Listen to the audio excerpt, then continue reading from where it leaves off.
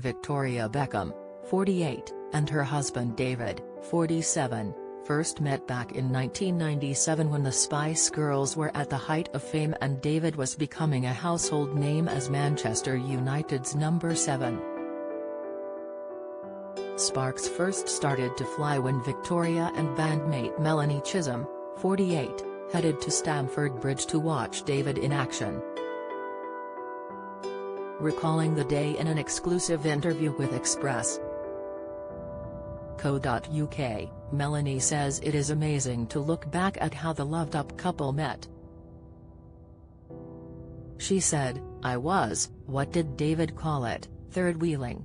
I think we went to Chelsea at Stamford Bridge to watch United play.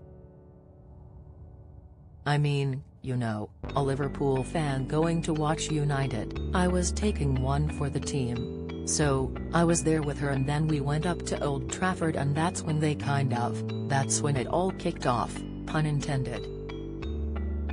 It is pretty amazing looking back over those times. Melanie previously gave an insight into the life-changing day and admitted that Victoria was giddy on the way home. Appearing on This Morning back in 2016, Mel said, she was giddy on the way home. We've been thinking about how the children have grown up now, all the spicy children. After 23 years of marriage, David and Victoria now have four children together, Brooklyn, 23, Romeo, 19, Cruz, 17, and Harper, 11. The couple themselves have also divulged on their first meeting, and David confessed that Victoria was always his favorite Spice Girl.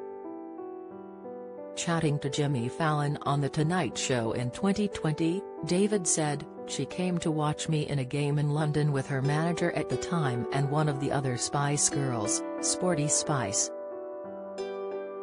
Jimmy then probed whether David knew who the Spice Girls were, to which he replied, we knew of them, obviously, because they were pretty big at that time and I was just establishing myself in the Manchester United team. But, we all had our favorite Spice Girl. Victoria, was obviously my favorite. The following week, Victoria travelled to Manchester to watch another game and the pair chatted in the players' lounge, where Victoria admits she'd had a few too many. Back in 2016, the fashion designer penned a letter addressed to her younger self, and said, learn more about football, especially the offside rule. And, yes, love at first sight does exist. It will happen to you in the Manchester United Players' Lounge, although you will get a little drunk, so exact details are hazy, she wrote for Vogue. Fittingly, Sporty Spice accompanied Posh to that match as well. It comes as Melanie's love of football has continued to this day and she told me how she has been supporting the Lionesses during the UEFA Women's Euro 2022. The hitmaker has teamed up with Booking.com, the official Euro 2022 accommodation booking partner, to promote the benefits of traveling and to celebrate women's football. On why she has got involved. Melanie said, I have been so lucky in my career and I have done a lot of traveling. With the wonderful Women's Euro, there is an opportunity to travel all over England, to places that you may never have thought of going to. She added, obviously, being sporty spice and being a spice girl, we have always been very vocal about girl power and for me no more so than celebrating women's football.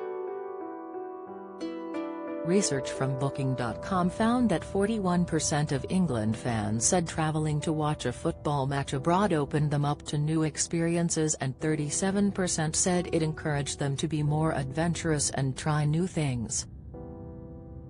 Booking.com is the official accommodation booking partner of UEFA Women's Euro 2022 and its campaign showcases the power of first experiences.